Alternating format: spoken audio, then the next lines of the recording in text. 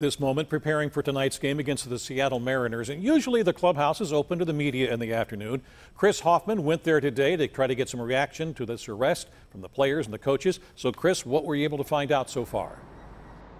Well, good afternoon. The Pirates, they're not saying much on this. We just heard from our photographer inside there that Clint Hurdle pretty much stuck to the statement that the Pirates issued earlier this morning. They are blindsided by this whole situation. In their statement, they say they were made aware of the active investigation. They say we take this matter and these charges in particularly extremely seriously.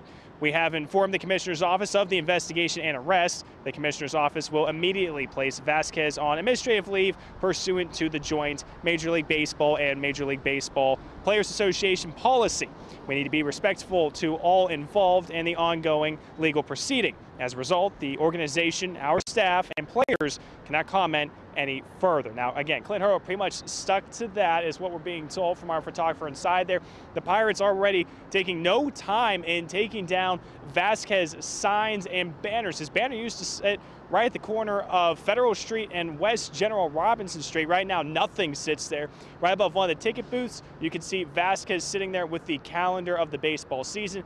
That too has been taken down. So already the Pirates starting to scrub away his relationship with the team, according with uh, and these allegations causing that to be done. We're live outside PNC Park. Chris Hoffman, KDKA News.